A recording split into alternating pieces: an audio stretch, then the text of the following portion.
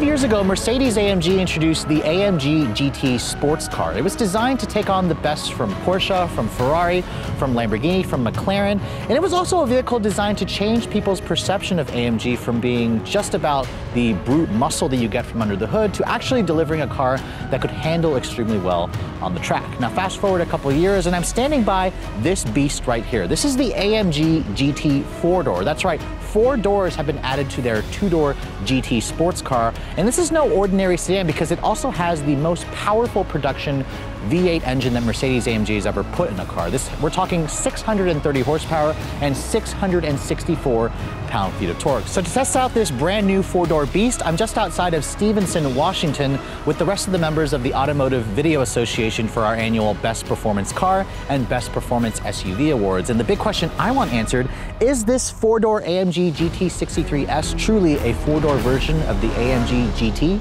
That's what we're here to find out.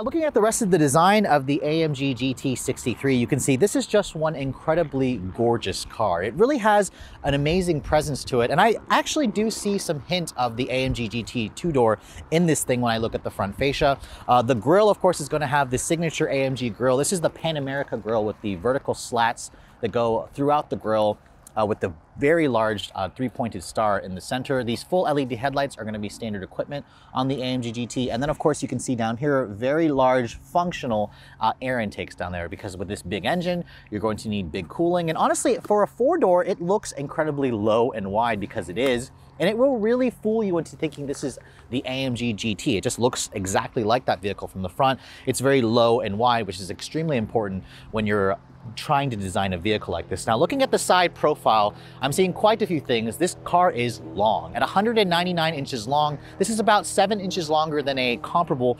Mercedes-AMG E63. So this is seven inches longer than an E-Class. Its wheelbase is 116 inches long. It's like 0.6 inches longer than the E-Class. So again, Mercedes made this bigger to give it a much bigger presence to it. This slots above the E-Class, but of course below their flagship S-Class. Now the wheels, how can I not talk about the wheels? These are an optional 21 inch wheel for $3,000. And honestly, it is a throwback to the old wheels that you found on the 90s Mercedes-Benz S-Class V12 models. I absolutely hate them. I think they should have honestly stayed in the 90s.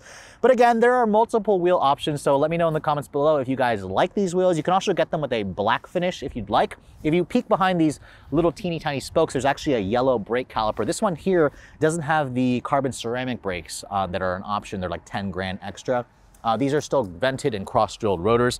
Obviously, with a car like this, you're going to need beefy brakes. Now, all AMG GT models, the four-door, will come with rear-wheel steering. That's actually standard equipment. The rears will, the rear wheels will turn in the opposite direction of the front wheels in low speeds to again help with the turning radius and then they'll turn in the same direction uh, during high speed maneuvers to help make this thing handle better. Now at the back you really see the family resemblance to the AMG GT two-door for this vehicle. The taillights have a similar look. My tester has the, uh, the active rear wing spoiler. This will pop up at higher speeds, or you can also push a button in the dash that will make the wing pop up. If you guys don't like this wing setup, Mercedes-AMG also offers a fixed wing, uh, kind of like a wing type spoiler for like $3,000 extra. You can also have it in finished in carbon fiber. Now down here at the lower fascia, obviously you can see signature AMG quad exhaust tips with this rear diffuser. It looks fantastic, but they actually aren't connected to the pipes, but this is an AMG, so let's take a listen of that V8.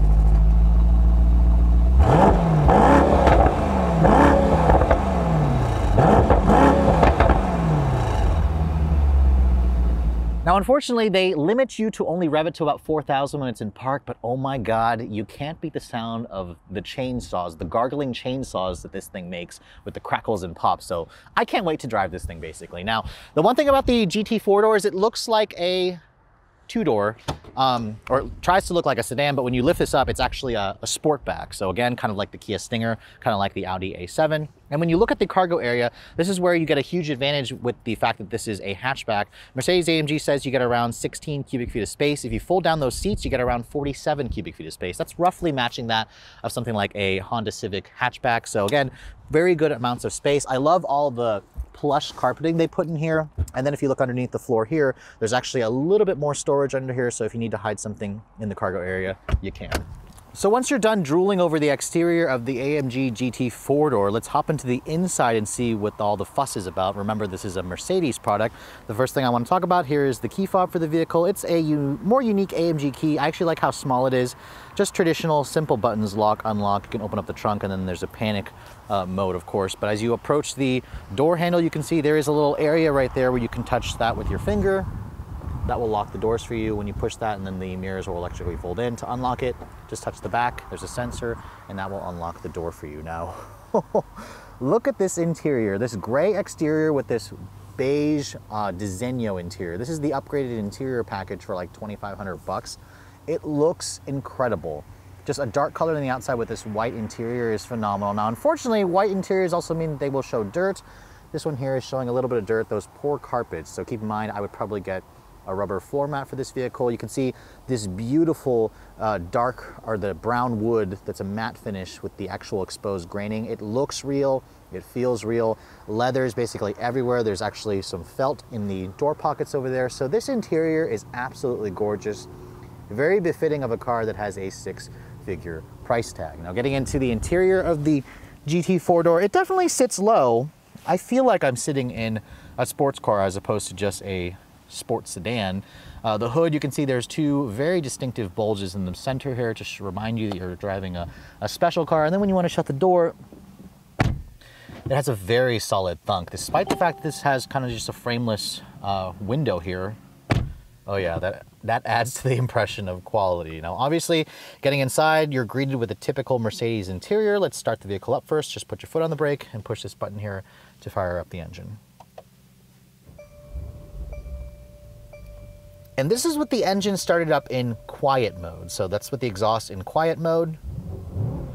Even in quiet mode, it sounds amazing, but wait until you guys listen to this. I'm gonna switch the drive mode over here to Sport Plus. Actually, let's go to race. That basically opens up the baffle and the exhaust for the powerful sound.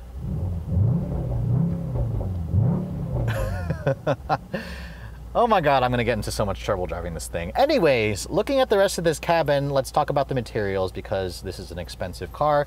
You have actual stitching here all over the dashboard. This beautiful ribbon of wood that extends across these four vents over here. These are of course the signature uh, Mercedes vents, which feel expensive. They look great. I just love the way this interior looks in terms of the design. The door panels here you can see very nice leather material in the upper portion, more of that wood. Uh, metal door handles. The windows are one touch for all four. Didn't expect anything less. The Burmester sound system in here for $5,000. It even says Burmester high end. Sounds incredible. Honestly, I feel like they could charge more than that. I've seen some manufacturers charge like $8,000 on an upgraded sound. So at five grand, it's kind of a bargain if you could actually say it's a bargain. The steering wheel is power tilt telescoping, which is nice. It's a heated wheel pretty much what you expected. The seats are also heated and cooled, and they also massage you. So uh, that's part of an optional package. The seats are like 20-way adjustable with a three-person memory. Uh, Mercedes also allows you the ability to control the passenger seat if you guys like from that button over there. But overall, this interior has all the features that I'm expecting, even a nice heads-up display over there, which is a $1,000 option. Now, the steering wheel is interesting because it's two different colors. The airbag cover, cover is black, and then you've got the white steering wheel with this fat rim, very nice paddles, but I wish they were mounted to the wheel or onto the column instead of the wheel. This, of course, has your Mercedes command interface here where it has these touch sensitive pads. The touch sensitive pads basically allow you to run your finger across here and you can change uh, what you see on this display. If you'd like, you can also hit the home button over here and you can actually pull up your AMG performance stuff. You can change the driver assistance stuff or show it from here. And you can even change the way the gauges look. For example, go over here to designs. Uh, I have it in the sport setting right now, which is probably my favorite. If you click it up to super sport, you can see it puts the tach front and center if you guys like that. Or you can also do a classic look, which is similar to sport, but in a blue tone instead of the yellow and red tone. So I like this particular one, but the gauges here offer a very good amount of customization, kind of similar to what Audi does with their virtual cockpit way better than what uh, BMW is doing with their live cockpit professional. So I like what Mercedes is doing over here with this. Now I love how they also connect the two screens together. They're actually two separate screens. There's a black area here, but just the way it looks, it's like 24 inches of screen, just looks incredible. As you can see, it's got Apple CarPlay and Android Auto. Not the wireless Apple CarPlay and Android Auto though. You have to wait for the MBUX infotainment system, which this car surprisingly doesn't have the MBUX. Um, but I do like how they do put the CarPlay over there at the very top.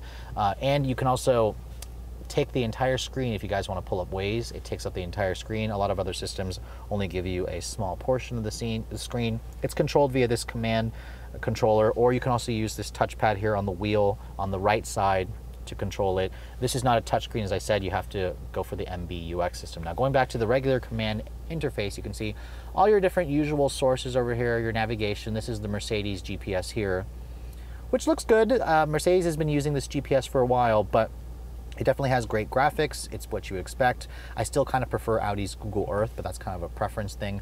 Going over here to the vehicle settings, let me show you how, how to turn on the massage. You go to here to seat and you go over here to massage and they offer several different levels of massage. Activating massage is one of my favorites. Um, one of the best massages in the industry, pretty much up there with Volvo. Um, with um, BMW. And then of course the seats themselves, they are dynamic seats, which means you can adjust it so the bolsters will turn in and out depending on whenever you turn left or right that again makes the um, seat hug you a little bit more whenever you're driving this thing aggressively. It's pretty cool when you are driving this thing aggressively. Now, uh, the one thing this car also has, it has the energizing comfort package. What that basically does is it gives you this little setting where it'll give you all these warmth, refresh, vitality. It'll play music, it'll waft a perfume. And if you'd like, you can also go back to climate over here and you can adjust the the air ionizer. This is again kind of like what the Audi does where it, it sprays a really amazing perfume into the car and you can change the scents and it makes the interior just smell really nice in here. So those stinky smells from outside, you're shielded from it in this car because it's got an air ionizer and an air purifier. So that's what you're gonna pay for with the luxury you get with the Mercedes. When you put the car into reverse, you get a 360 camera. Uh, this is actually optional, the top-down view. It's another thousand bucks. One of the best cameras in the business. It also has the ability to parallel park itself for you, uh, which is nice. This screen is just amazing. I could probably spend an entire video talking about this screen, but uh, most of the features that it's going to give you, you're going to really like. Just I'm surprised that they don't give you MBUX, where you can say something like, "Hey Mercedes, you know, take me to the nearest Starbucks." This does not have that. It has traditional voice commands, but it's not quite as intuitive as what the MBUX system is going to give you. Now over here, surprisingly, there's actual toggles for, for your usual controls for your climate. You have a nice little storage area over here where your cup holders are, wireless charging, your USB uh, input jack is over there. There's actually two more USBs uh, in here. Over here you can see with the AMG GTS or GT four door, you do have a slightly different center console versus the E63. The gear shifter is over here. It's mounted in a location that is too far down for me. I actually prefer the stock that you get on the other Mercedes products. Reverse, you just kind of kick it all the way up for reverse, push it all the way down for drive, and then push the P to go into park. Um, and then you can engage the manual mode if you'd like. All these other buttons here, this controls your drive modes. You can see it cycles between sport, comfort, individual, and slippery mode. It even shows you a really great um, graphical representation whenever you change the modes. Uh, this also adjusts your um, suspension settings and whatnot. You can adjust the dampers over there, turn off the stability control, open and deploy the wing, and then turn the exhaust to the loud or quiet modes, and then turn off the start-stop. This is your volume for your radio. Uh, no tuning knob in this vehicle. Instead, you're going to be using uh, this little touchpad here. So it can be a little daunting at first. There is a steep learning curve with this car, but once you kind of live with it, uh, you will get used to it. I do like the aluminum trim here, but it does show a lot of fingerprints, so kind of keep that in mind. Opening this up, you can see two more USBs. There's an SD card. It's nice and lined with felt over there. And then over here, the glove compartment, it is a little bit on the smaller side. You can see there's the refill for the air fragrance, the ionizer and whatnot. This is surprisingly not lined with felt, but it is damped. The above me, there is just a standard size sunroof. I'm surprised Mercedes isn't offering a pano sunroof. You can see there are speakers here in the ceiling because I believe there's a total of 25 speakers in this car. So absolutely just insane. The premium Designo leather feels incredible. This is one of the nicest leather you can get in a modern production car. So overall, the interior, very much what I expect from Mercedes-Benz. I just think they need to update it with their MBUX infotainment system. It feels a little bit on the snug side in here, but you do have a nice commanding view of the road. But my gosh, this interior, it looks and feels every bit the, you know, six figure price tag that they're asking for. So being this is an AMG GT four door, I should probably test out the back seat to see if it's actually usable. Now, the AMG GT doesn't even have a back seat, so it's pretty cool that they were able to throw in a back seat, although this is not the same kind of platform. But looking at this particular one here, uh, this one actually has the executive rear seat package for 3,500 bucks. It basically gives you this big center console. You have a touchscreen over here that allows you to control various functions from the front. Uh, you also have these 40-40 seats, so it gets rid of the middle seat here. So remember, this is only a four-seater car. The seats back here uh, are not heated and cooled, which surprised, which surprised me, but you do have heated and cooled cup holders. You have uh, rear wireless charging in here. You have a USB. You have an actual 110 power outlet. Uh, so really for 3,500 bucks, it's a little bit Spartan for me. I'm surprised that there are no heated and cooled seats in the back here. I just think that they should have included that. Uh, what you do get is a really nice ionizer. You can control that from over here. The screen is a little bit on the small side. It looks nice, but I kind of wish that Mercedes gave you the ability to take out the screen and kind of hold it. Uh, I tested an Audi A8 earlier this year that had that feature. So overall, the back seat is a little bit on the tight side for me at 5'7". I actually couldn't find the legroom specs, but the fact that it actually has a back seat is good. But just know that if you're actually looking to put people in the back seat, you might want to consider the AMG E63 instead of this. So being the most powerful production engine that AMG has ever produced, I want to first start with underneath the hood and when you lift up the hood, obviously you're gonna find a four liter twin turbocharged V8. This is the signature engine that Mercedes-AMG has been using for years. And because this is a 63 model, it's actually an AMG model because it's hand built. You can see it's handcrafted by a guy in Germany, Martin Jope. Jope, so I apologize if I'm mispronouncing it, but regardless, this is the S version. So the S version gets even more power versus just the normal 63. We're talking 630 horsepower, like I said, and 664 pound-feet of torque. That is just insane. And there's also a rumor that Mercedes-AMG will be coming out with a 73 version of this car with even more power. So that's of course a different review. If you think this is too much power, there's also the regular 63, which has 577 horsepower. And then there's also the uh, AMG 53, which has 429 horsepower. Now this all goes out through a nine speed shift transmission. It's an AMG tune transmission. It kind of behaves like a dual clutch. And then of course, all that power, it's not rear wheel drive. This is equipped with their 4MATIC Plus all-wheel drive system. So it has the ability to send all 100% of the power to the rear wheel, rear wheel so you can do full-on drift mode, drift mode with this vehicle. Now, obviously, in this rainy weather, I'm going to be excited that this actually does have all-wheel drive, and this is also a heavy beast. It weighs around 4,700 pounds uh, as this one sits, so it's a couple hundred pounds lighter than something like a Panamera Turbo S, uh, but as you guys should know, this is still a very much a heavy car. So my first time behind the wheel of the four-door AMG, really, I was super skeptical when Mercedes said that this was truly a four-door version of the AMG GT. And when you look at the platform, it's not actually the same platform. This is kind of based on the E-Class platform, the CLS platform. So you might be wondering, why the hell does Mercedes have two different versions or three different versions of essentially the same car? This one you just need to know is the longest, it's the sleekest, it's the one that's set up mostly for performance. So it definitely feels like a sports car, more like a sports car when you drive this thing. The car feels really low, it feels really wide, you have a really good view out of the front. The hood bulges constantly remind you that you're driving something that's extremely uh, fast.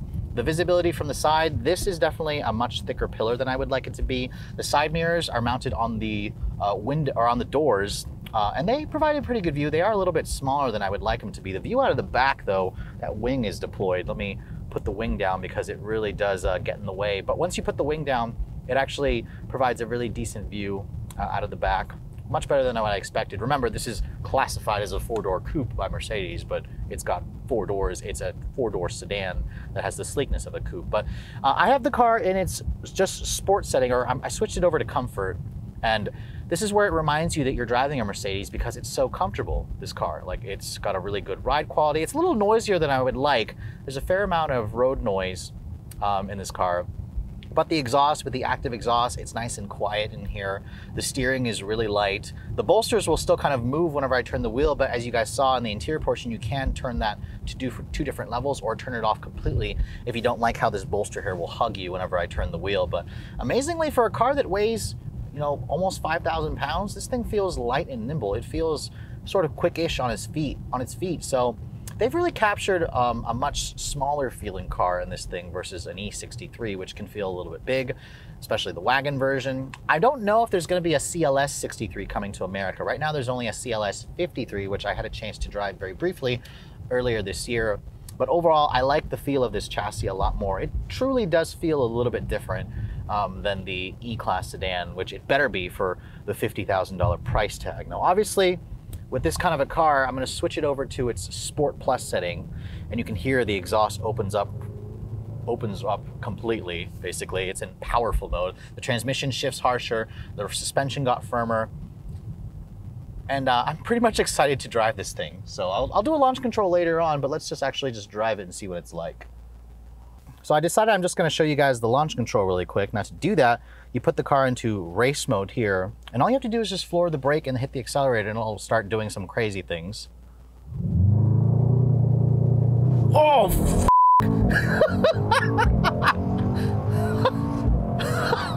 oh my God.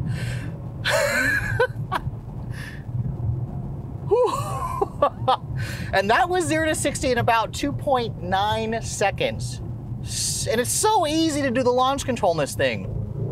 Oh, oh my God. What an insane car.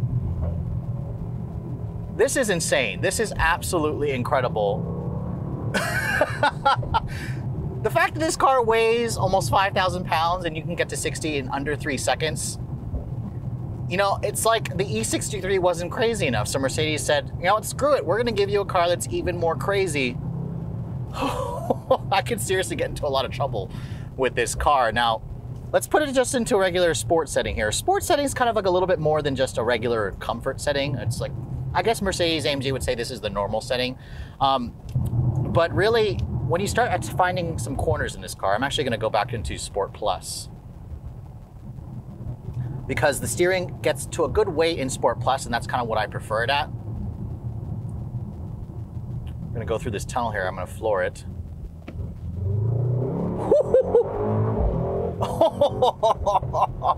Listen to those cracks and those burbles from the exhaust.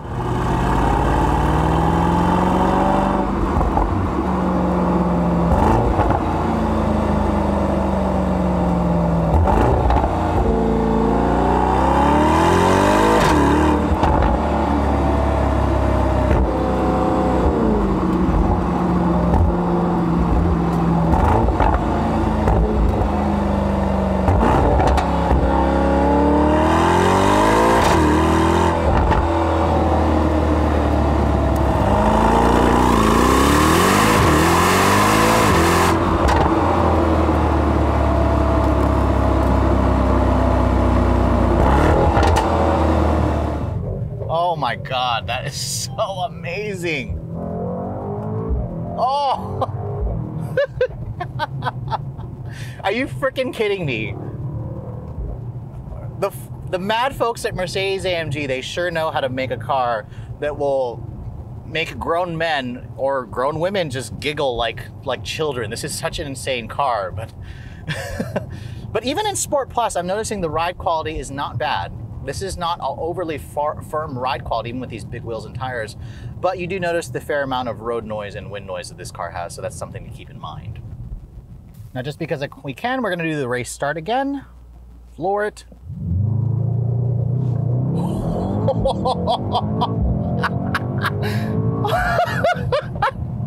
the blood is like rushing to the back of my head.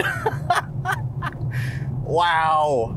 I mean, I would love to race this thing against a Tesla Model S P or 100D or performance. Like, although I know the Tesla's faster, this gives you the same kind of feeling, and it's just amazing with this 4MATIC all-wheel drive. It just puts the power down. There's no waiting. There's no slippage. Even though the road is slightly damp out here, I have complete confidence in this car. I think that's what's really important about a modern day performance car. And the transmission. This is the nine speed speed shift it responds really well to the paddles when I pull them. Oh! God, I could do this all day long, but I don't need to get another speeding ticket. but anyways, getting out of race mode here and just going into comfort, I mean, I'm sitting here getting a massage. The ride quality gets a little bit softer. The road noise is still there, but the visibility is good. This is the true definition of a four-door GT car, and it's exactly what I expected from a Mercedes AMG. I'm finding very little faults with this thing. I mean, it handles extremely well for something this big. Nothing, I mean, it's not like Porsche 911, like, great. I haven't, I have driven the latest Panamera, but not like a Turbo S model, which honestly, the Panamera feels big for what it is. So this is truly a rival to the Panamera. I'm really excited to drive the upcoming 8 Series Grand Coupe, obviously. But there's just so much to like with this car. Oh, I'm smitten over it. I'm very much, this could very well be one of the most impressive new cars that I've driven this year. So a few years ago when I first drove the AMG GT two-door, I was simply blown away. This was a car that really changed my perception of Mercedes AMG because it turned the brand into a serious sports car brand. I mean, usually they've always been known for brute muscle and all that horsepower, but they really couldn't handle all that well. And the two-door version really set the bar on a much higher benchmark. So to see Mercedes AMG try to apply that to a four-door. I was really skeptical when the four-door AMG came out, but after driving this thing, I have to say they really have captured a, a lot of the magic of the two-door in obviously a more practical package. The problem with the four-door for me isn't necessarily the fact that it has four doors. Remember, this car doesn't necessarily ride on the same platform as the two-door. It rides on a shared platform with the E63. It has the usual Mercedes-Benz strengths with its amazingly luxurious interior, the quick acceleration. I mean, 0 to 60 in under three seconds is just insane.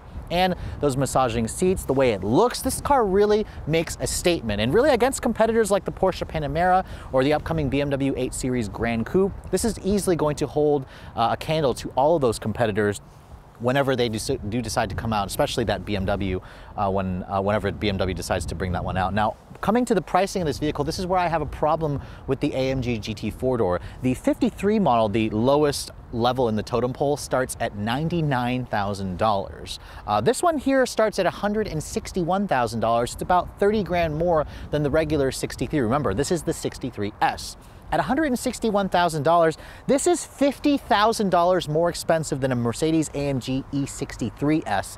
And to me, unless you really want the look of this thing, you want the hatchback capability, um, the fact that this is now a four-door GT, although by the platform it's really not, you're gonna get most of the performance in the E63S for 50 grand less. So it's really gonna come down to if you think the looks of this car is worth that extra 50 grand and it's about 0.3 seconds faster. Again, if that's important to you, that's a bragging right. Now this one here obviously is not $160,000. Let me pull out the Monroney because Mercedes, as you guys know, has a crap ton of options. Let me read off most of them to you.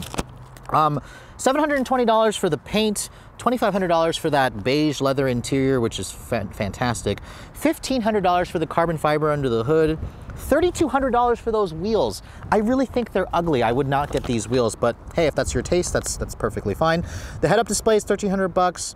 The Designo headliner is 900 bucks. The Burmester sound system, that's the most expensive one at $4,500 it's probably worth it. It sounds really damn good. Um, the executive rear seat package is 300, 3,500 bucks. The energizing comfort package where it wafts that sweet smelling perfume in there. That's kind of like what the Germans are known for. I would easily pay that. Um, $2,500 for the driver assistance package, another $500 for the 360 camera, and $1,000 for the Warmth and Comfort package. And then of course, $1,000 for a gas guzzler tax because this is rated at 15 city, 20 on the highway. All in, we're looking at a NAS tested price of $184,000, including the destination charge, which is really an eye-watering amount of money. And keep in mind, this one here, you could option it in to be over $200,000 if you wanted to, because it's missing the carbon ceramic brakes, and it's also missing the fancy, you know, Designo matte finish blue paint that I've seen this thing painted in, which looks gorgeous. So keep in mind, this is an expensive car, but if you guys have the cash to afford it, it's literally one of the most desirable new cars that you can find today. Now, obviously, I can't do an RPM rating on this car because I've only had it for a couple of hours, so stay tuned for a full or an update video whenever I do get one of these to test in the DC area. But I hope you guys have enjoyed my full overview on this 2019 Mercedes AMG GT63S. That's a tongue twister. If you're also looking to see the latest cars I'm testing, be sure to follow me on Instagram at redline underscore reviews. Like, us, like us on Facebook. And as always, guys, please keep subscribing to the Redline Reviews YouTube channel for all the latest reviews. Thank you so much for watching. I'll catch you all in the next video.